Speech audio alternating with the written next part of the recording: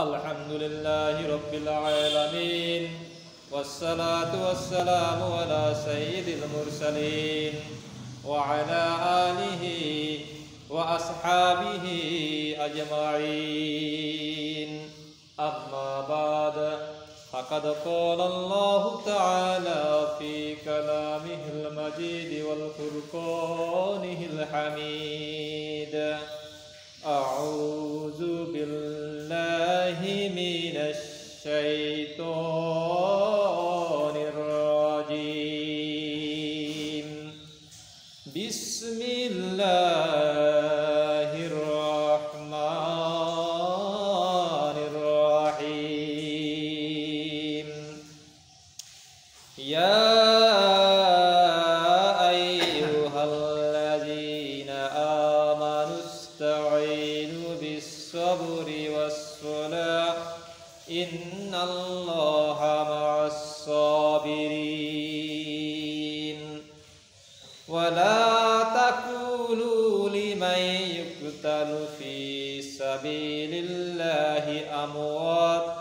بل أحياء ولكن لا تشعرون. ولا نبلونكم بشيء من الخوف والجوع ونقص من الأموال والأنفس والثمرات. وبشر الصابرين. الذين إذا أصابتهم مصيبة قالوا إنا لله وإنا إليه راجعون. أولئك عليهم صلوة من ربهم ورحمة وأولئك هم المهتدون. صدق الله العظيم. সমস্ত প্রশংসা সেই মহান আল্লাহ সুবহানাহু তাআলার যার অশেষ মেহরবানিতে আজকে পবিত্র জুমার দিন দুনিয়ার যাবতীয় কাজকর্মকে পরিহার করে আল্লাহ তাআলার ভয়ে সঠিক সময়ে তার পবিত্র ঘরে এসে কোরআন কারিম থেকে কিছু আলোচ- আলোচনা, এই কিছু নামাজ আনতে কোরআন কারিম থেকে কিছু আলোচনা করা এবং শোনার দান করেছেন। সেই জন্য সে মহান আল্লাহ সুবহানাহু তাআলার আলী সন্তার একটু শুকরিয়া আদায় করি। সকল বলি আলহামদুলিল্লাহ।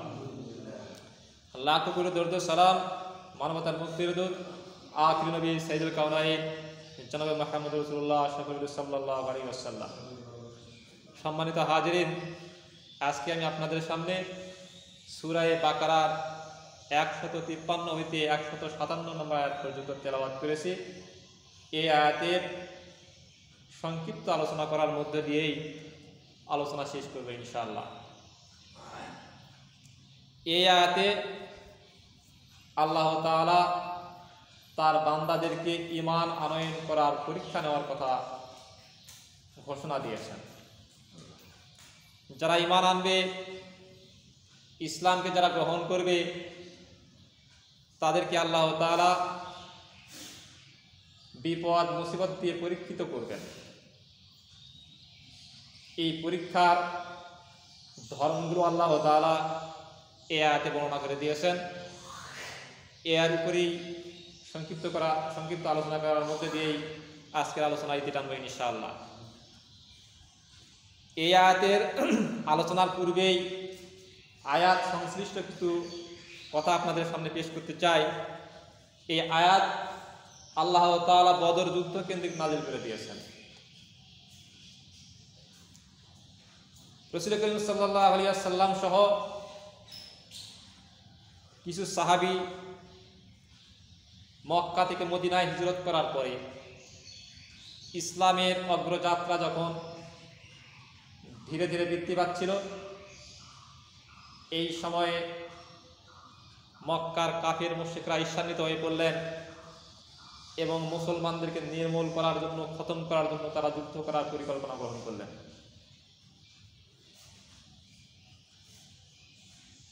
কিন্তু তারা মক্কা থেকে মদিনা হিজরত করার পরে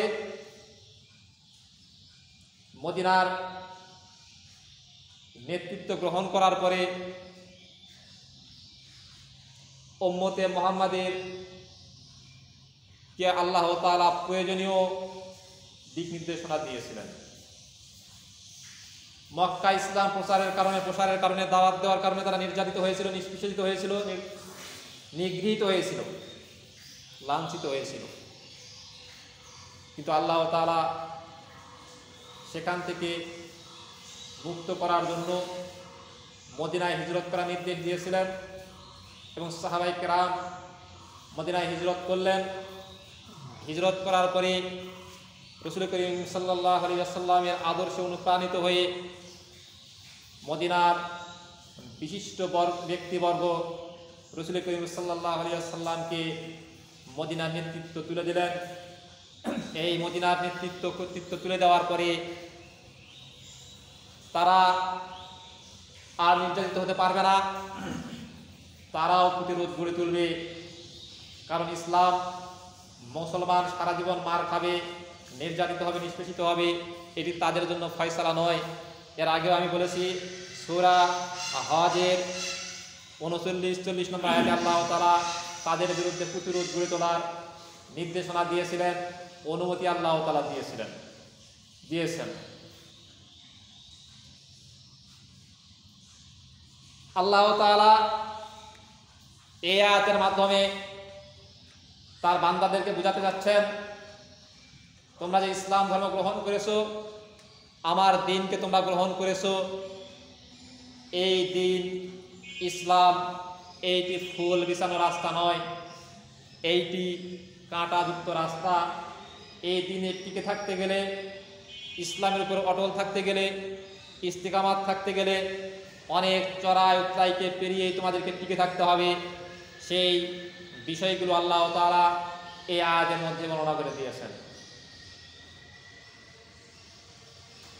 আল্লাহ তাআলা এটিও বোঝাতে যাচ্ছেন যে তোমরা ইসলাম ধারণ করেছ, এই ধারণ করার পরে তোমাদের উপরে চতুর্দিক থেকে বিপদ, মুসিবত ঝাঁকে ঝাঁকে তোমাদের দিকে অগ্রসর হবে। আর সেই বিপদ, মুসিবতের মোকাবেলা করে তোমাদেরকে দিনের উপরে অটুট থাকতে হবে, ইস্তেকামাত থাকতে হবে। আমি আল্লাহ তাআলা তোমাদেরকে কঠিন পরীক্ষার মধ্যে নিমজ্জিত করব। আর এই কঠিন পরীক্ষার মধ্য দিয়ে তোমাদেরকে আমি যাচাই বাছাই করব, তোমাদের ক্ষতির সম্মুখীন করব, ক্ষতির সম্মুখীনের মাধ্যম মধ্য দিয়েই আমি তোমাদেরকে টেস্ট করব, পরীক্ষা নেব যে তোমরা প্রকৃতপক্ষে ইমানদার হতে পেরেছ না ছলনা আশ্রয় গ্রহণ করেছ। আল্লাহ তালা তো জানেন কে প্রকৃত ইমানদার আর কে ছলনার আশ্রয় গ্রহণ করেছে। এটা আল্লাহ তালা জানেন না? আল্লাহ তালা খুব ভালো করে জানেন। কিন্তু আল্লাহ তালা তো জানেনই কিন্তু আল্লাহ তালা এই পরীক্ষা নেওয়ার উদ্দেশ্য হচ্ছে গোটা মানব জাতিকে আল্লাহ তালা জানাই দিতে চান।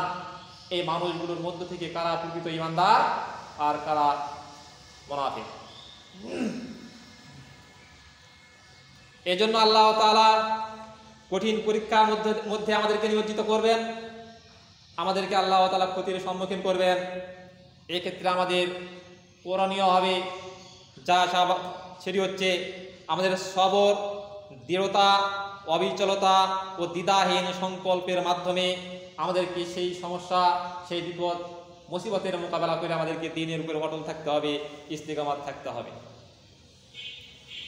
যদি আমরা থাকতে পারি, তাহলে তখনই আল্লাহ তালার পক্ষ থেকে আমাদের উপরে তার দয়া ও মহা অনুগ্রহ বর্ষিত হবে। এক্ষেত্রে আমাদেরকে দুটি শক্তি অর্জন করার কথা বলা হয়েছে। এক নাম্বার হলো সবর, ধৈর্য, সহিষ্ণুতা, শক্তি লালন করা। দ্বিতীয়ত, আমাদেরকে যে শক্তি অর্জন করতে হবে, সেটি নামাজের মাধ্যমে আমাদেরকে শক্তি অর্জন করতে হবে। এই বদর যুদ্ধ সংগঠিত হয়েছে দ্বিতীয় হিজড়ি রমজান মাসের সতেরো তারিখে। কত হিজড়ি দ্বিতীয় হিজড়ি রমজান মাসের সতেরো তারিখে। মদিনা থেকে দক্ষিণ পশ্চিম আশি মাইল দূরে অবস্থিত বদর প্রান্তর এই বদর প্রান্তরে মক্কার ক্রাইশা রসুল করিম সাল্লাহ আলিয়াসাল্লাম সহ মুষ্টিমেয় যারা ব্যক্তিবর্গ ইসলাম ধর্ম গ্রহণ করে রসুল করিম সাল্লাহ আলিয়া সাল্লামের সাহাবি হয়েছিলেন সেই সমস্ত সাহাবিদেরকে নির্মূল করা, খতম করে দেওয়ার উদ্দেশ্যেই তারা এই যুদ্ধের প্রস্তুতি গ্রহণ করেছিলেন। এই যুদ্ধে মোকাবেলা করার জন্য রসুল করিম সাল্লাহ সাল্লাম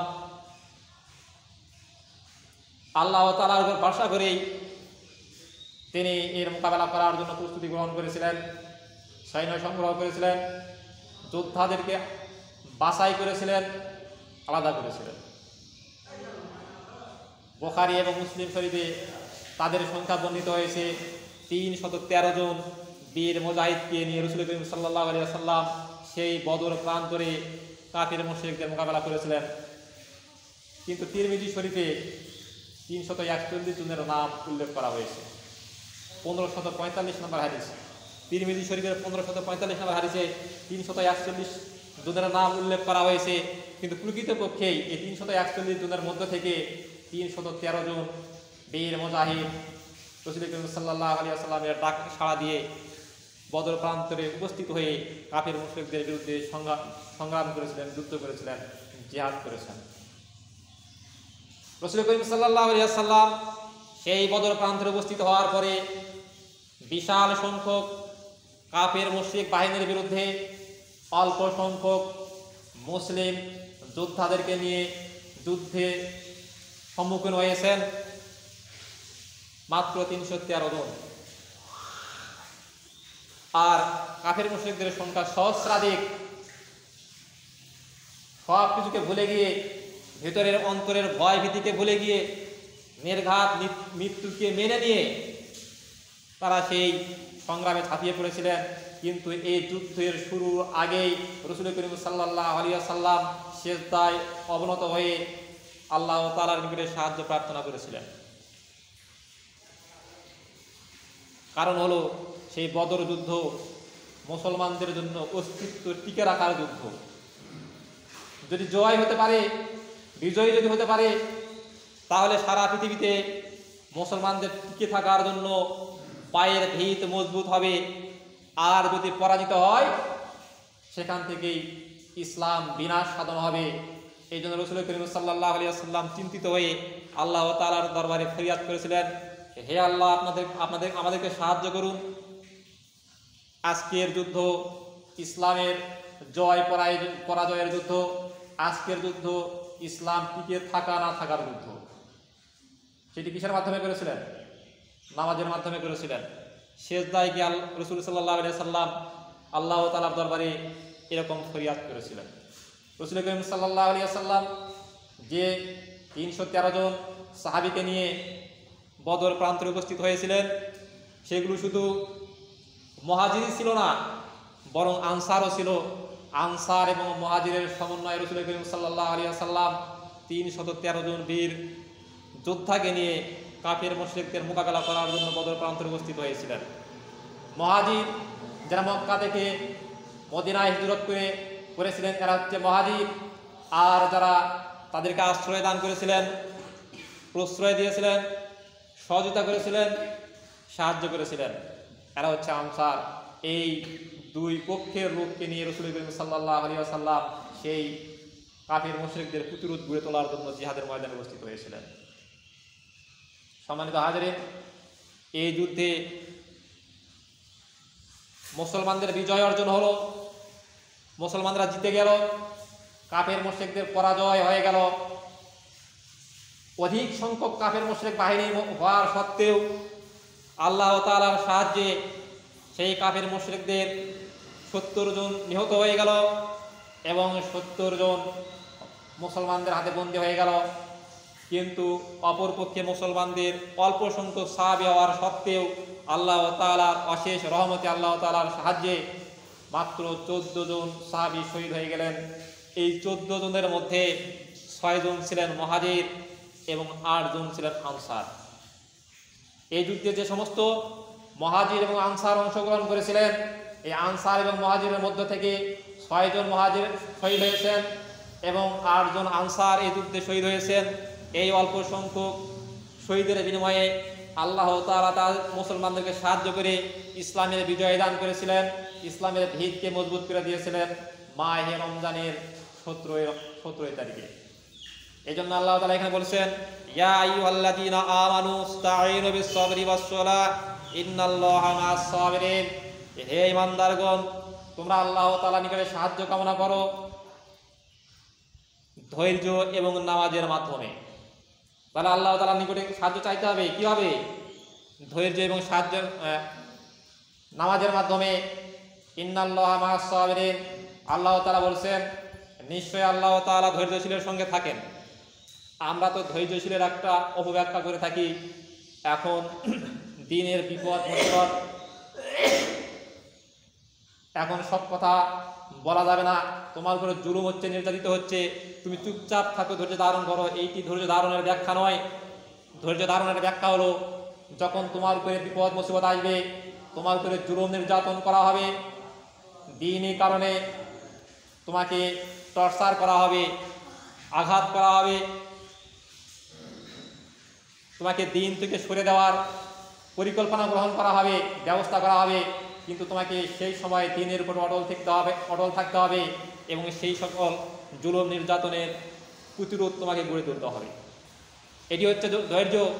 যদি ধৈর্যের ব্যাখ্যা যদি ঘরের মধ্যে বসে থাকায় যদি হতো, তাহলে বদর প্রান্তরে অল্প সংখ্যক মুসলিম বাহিনী, বিশাল সংখ্যক ইহুদি বাহিনীর বিরুদ্ধে যুদ্ধ না করে তারা তো বাড়ি ফিরে যেতেন।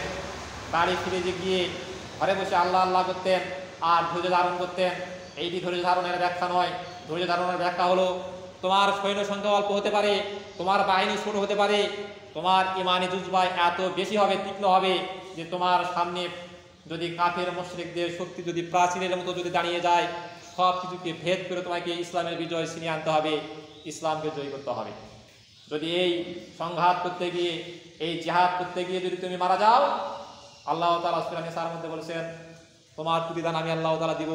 আর তুমি যদি বিজয় অর্জন করে যদি গাজী হয়ে বাড়িতে ফিরে আসো তার প্রতিদানও আমি আল্লাহ তোমাকে দিয়ে দেব। এই জন্য আল্লাহ তালা বলছেন,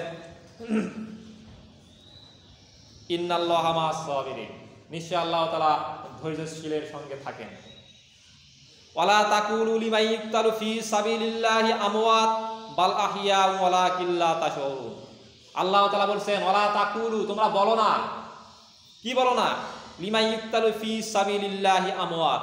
যারা আল্লাহর দিনকে বিজয় করার জন্য, ইসলামকে বিজয় করার জন্য নিজের প্রাণকে উৎসর্গ করে দিয়েছেন, কুরবানি করে দিয়েছেন, নিহত হয়েছেন, তাদেরকে তোমরা মৃত বলো না।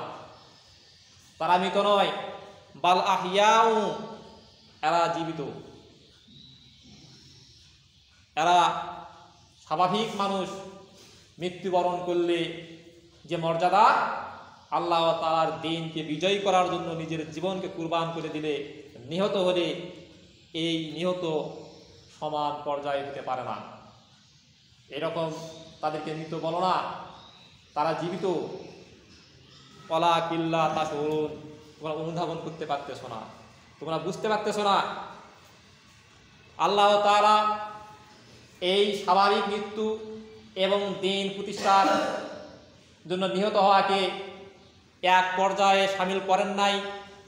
এই জন্য স্বাভাবিক মৃত্যু আর দিন বিজয় করার মৃত্যু যদি এক পর্যায়ে হতো, তাহলে মুসলমানরা জেহাদ করা থেকে দূরে সরে থাকতো।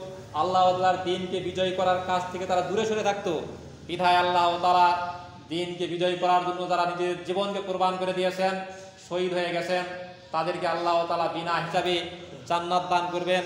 এত মর্যাদা দিয়েছেন, এজন্যই এই মর্যাদা পাওয়ার আশায় মুসলমানদের ইমানকে তারা তাজা করবে তাজা করবে, উজ্জ্বল করবে, তীক্ষ্ণ করবে এবং তারা দিনের উপরে অটল থেকে আল্লাহ তালার সেই অশেষ নিয়ামত হাসিলের উদ্দেশ্যে তারা জেহাদ করবে, সংগ্রাম করবে এবং কাফের মোশেক এবং ইহুদিদেরকে ধরাশায়ী করে আল্লাহর জমিনে আল্লাহর দিনকে বিজয় করবে। সোমান আল্লাহ বলে।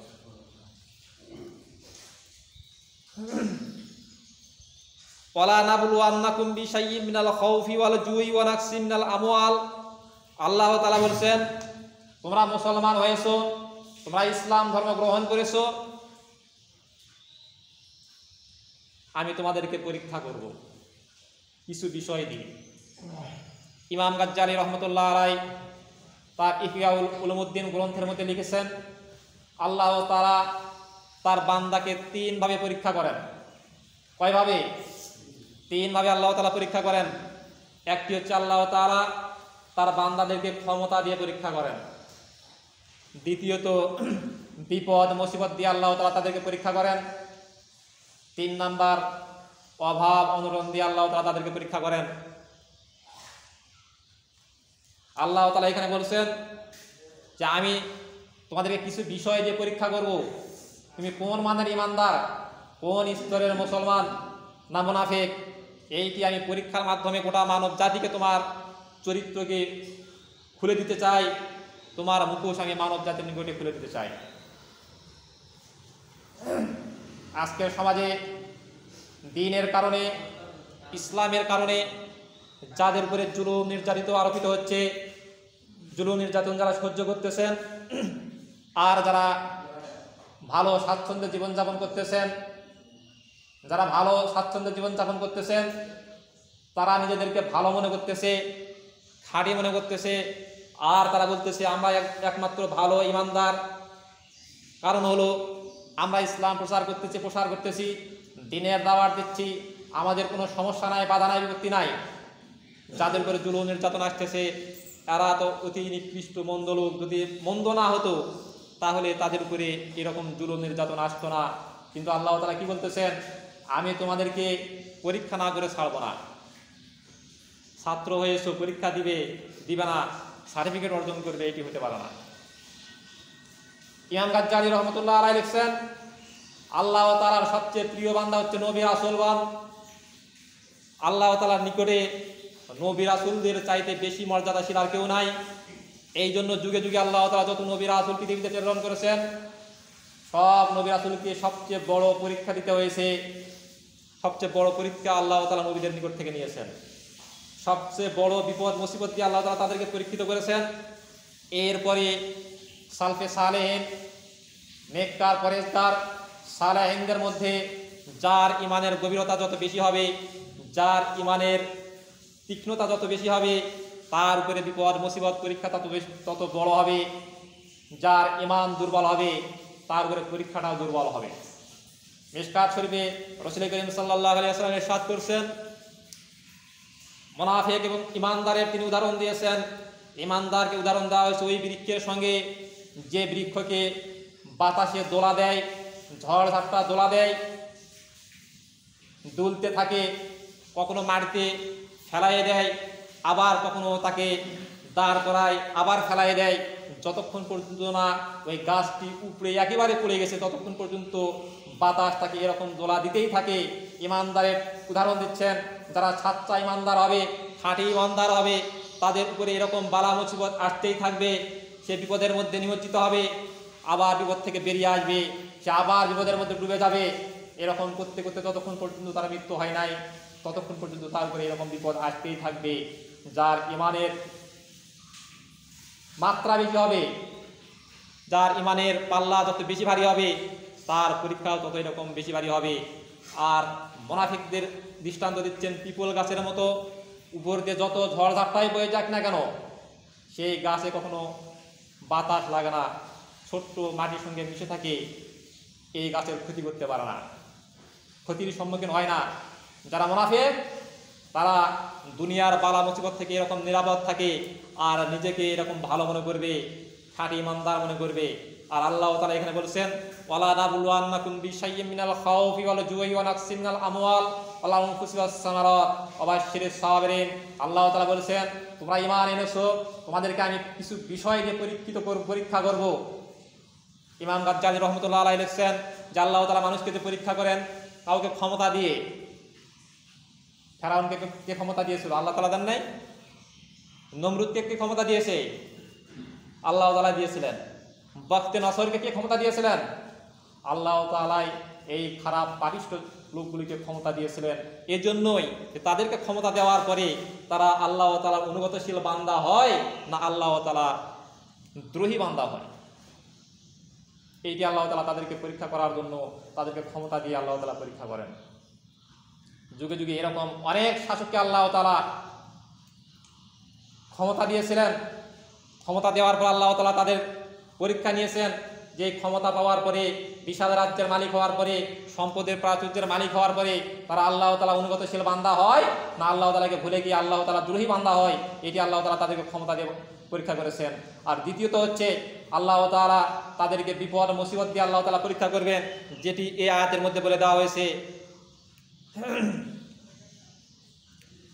মিনাল খাউফ, ওয়ালা নাবলুয়ান্নাকুম বিশাইয়্যিন মিনাল খাউফি ওয়াল জুই ওয়া নাকসি, মিনাল আমওয়াল ওয়াল আনফুসি ওয়াস সামারাত আল্লাহ তাআলা বলছেন, আমি তোমাদেরকে পরীক্ষা করব। পরীক্ষার বিষয় হচ্ছে, প্রথম পরীক্ষা হলো তোমাদেরকে ভয়, খাউফ বলা হয়েছে। তোমাদেরকে ভয় দিয়ে পরীক্ষা করব। তুমি দিনের উপরে অটল থাকবে, ইসলামের উপরে অটল থাকবে, ইস্তেকামাত থাকবে। তোমার, তোমাকে ভয় দেখানো হবে। তোমার উপরে মামলা, হামলা হবে, তোমাকে গ্রেপ্তার করানো হবে, তোমার উপরে টর্চার করা হবে, নির্যাতন করা হবে, অনেক ভয় দেখানো হবে। এই ভয়কে তুমি জয় করতে পারো কি না যদি জয় করতে পারো, তাহলে পরবর্তী স্ত- স্তরের পরীক্ষা আমি তোমাকে করব। আল্লাহ তালা একটার পর একটা বান্দাদেরকে পরীক্ষা করবেন। একজন ইমানদার মানুষকে আল্লাহ তালা একের পর এক পরীক্ষা করবেন। প্রথম যে পরীক্ষাটা হলো খাও আল্লাহ তালা তাকে ভয় দিয়ে পরীক্ষা করবেন। যারা খাঁটি ইমানদার হবে, সাচ্চা ইমানদার হবে, তাদের চতুর্দিকে ভয় আর ভয় থাকবে। জানের নিরাপত্তা থাকবে না, মালের নিরাপত্তা থাকবে না, সম্মানের নিরাপত্তা থাকবে না, ইজ্জতের নিরাপত্তা থাকবে না, চলাচলের নিরাপত্তা থাকবে না, বাক স্বাধীনতা থাকবে না, তাদেরকে শুধু ভয় দেখানো হবে।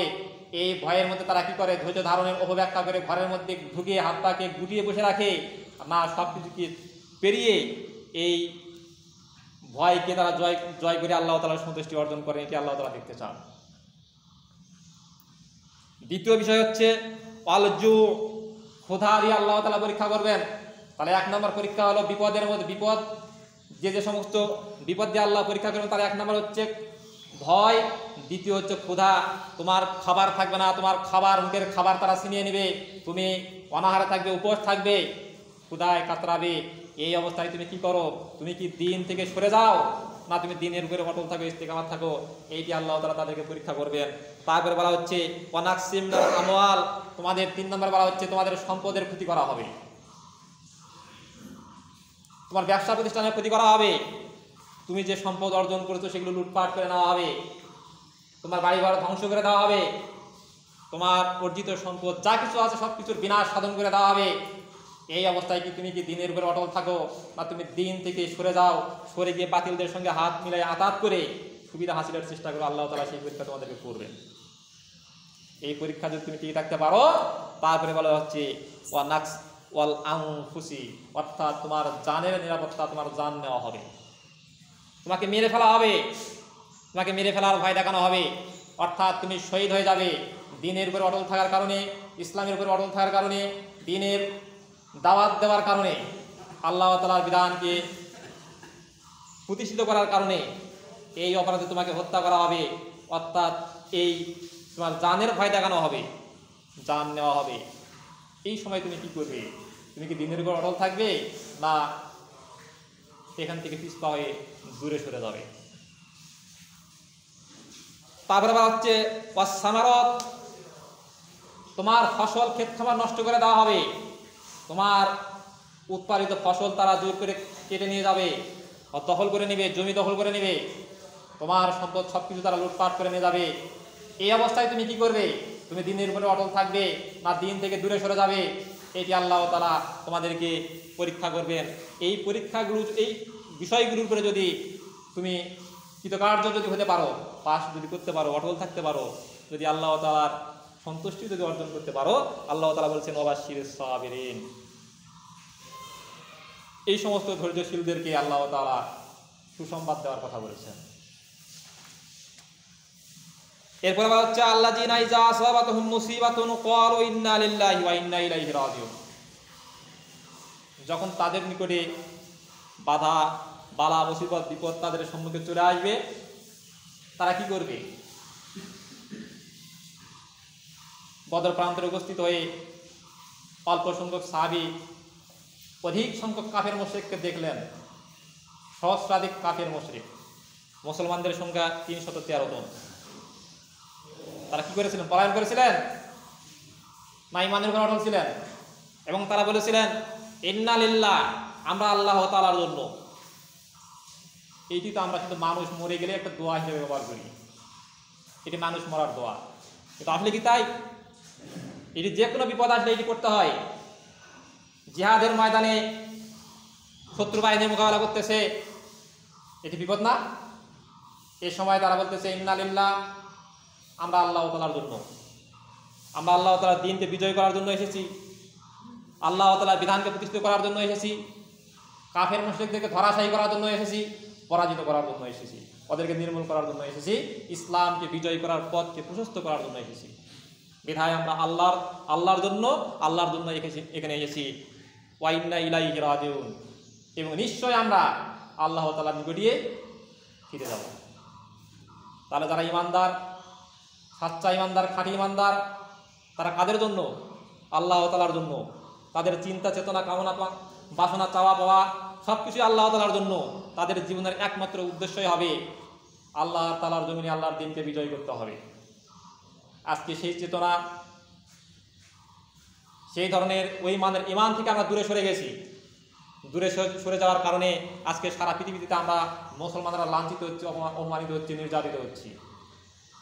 এক শ্রেণির মুসলমান যখন নির্যাতিত হই, নিষ্পেষিত হই, অন্যরা হাততালি দিয়ে আনন্দ উল্লাস করি। এটি মুসলমানদের চরিত্র হতে পারে না। এটি মুসলমানদের কার্যক্রম এটি হতে পারে না। আল্লাহ তালা আপনাকে আমাকে পরীক্ষা না নিয়েই জান্নাত দান করবেন, পাস করাই দিবেন, ছেড়ে দিবেন। আনগাউদের মধ্যে আল্লাহ তালা আরও বড় বড় হুঁশিয়ারি উচ্চারণ করেছেন। এইটি কখনো হতে পারে না। আমরা আল্লাহ তালার জন্যই এবং আমরা আল্লাহ তালার নিকটেই ফিরে যাব। এই চিন্তা চেতনা বুকে ধারণ করে, লালন করে দিনের উপরে প্রতিষ্ঠিত থাকতে হবে। দিনের বিজয় ছিনিয়ে আনতে হবে। বাতিল শক্তিকে নির্মূল করতে হবে, তাদের খতম করে দিতে হবে। উলাইকা আলাইহিম সালাওয়াতুম মির রাব্বিহিম ওয়া রাহমা ওয়া উলাইকা হুমুল মুহতাদুন ওই সমস্ত লোকদের উপরে আল্লাহ তাআলার দয়া এবং মহা অনুগ্রহ বর্ষিত হবে। কাদের উপরে? যাদেরকে আল্লাহ তাআলা পরীক্ষা নেবেন, ওই লোকগুলো যখন পরীক্ষায় পাশ করবে, পরীক্ষায় টিকে থাকবে, আল্লাহ তাআলা সন্তুষ্টি অর্জন করার জন্য দিনের উপরে ইস্তেকামাত থাকবে, অটল থাকবে। এক চুল পরিমাণ, বিন্দু পরিমাণ তারা এখান থেকে সরে যাবে না। আজকে আমরা স্বার্থ হাসিলের জন্য কিনা করতেছি? অর্থের জন্য কিনা করতেছি? আমরা শুধু নামাজ পড়েই পূর্ণাঙ্গ মুসলমান হয়েছি। মুসলমানদের যাবতীয় দায় দায়িত্ব পালন করেছি বলে আমরা দাবি করি। এটি মোটেও ঠিক হবে না। আল্লাহ তাআলা এই ধরনের অনুগ্রহশীল আমরা পাই আল্লাহ তালা পক্ষ থেকে অর্পিত যত প্রকার বালা মুসিবত, পরীক্ষা আসুক না কেন, সকল প্রকার পরীক্ষা যেন আমরা টিকে থাকতে পারি, আল্লাহ তালার সন্তুষ্টি যেন অর্জন করতে পারি এবং আমরা যেন হেদায়ত প্রাপ্ত যেন হতে পারি এবং কঠিন মুসিবতের দিন, কিয়ামতের দিন যেন আমরা সফল কাম হতে পারি, সেই তৌফিক আল্লাহ তালা আমাদের প্রত্যেকে দান করুক, সকলে বলে আমিন। এ বলে আমি আমার সংক্ষিপ্ত কথা আজকে এখানে শেষ করলাম। ওয়া কিদাওয়ানা আলহামদুলিল্লাহ আলমিন। আসসালামু আলাইকুম ওরহমতুল্লাহ